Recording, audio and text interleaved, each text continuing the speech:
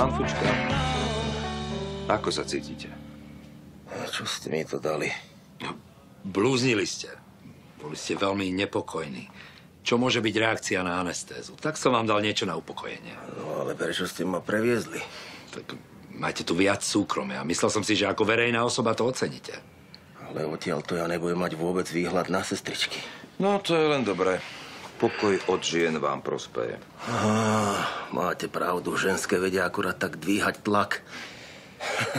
A robiť žlčové kamene. Počkať, doktorko, nezabudnite na tie moje kamene. E, postaram sa o to. Keď to dotečie, dajte mu ešte jednu dávku. Ďakujem. Nevedel som, že tu máme aj zdravotných bratov. E, Nemáme, nemáme, ale žiadnu sestričku za tým hovedom nepustím. No, múdro. Horšie je, že to hovedo sedí v parlamente. No, všetky návrhy ohľadom potratov a antikoncepcií sú z jeho diania. To chápeš, hej? Takže chce rozhodovať o ženskom tele. No. Že by nešťastné manželstvo. Alebo znížená potencia. no, možno preto chodí po bordeloch. Ale... Povráva sa. Aha. A čo sa to stalo na iske? N- Na iske.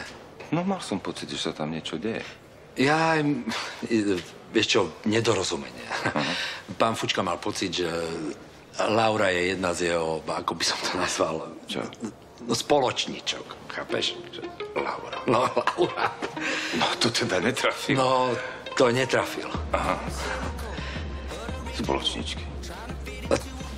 Čo, každý si rieši svoje potreby inač. Jasné. Ahoj. Čau.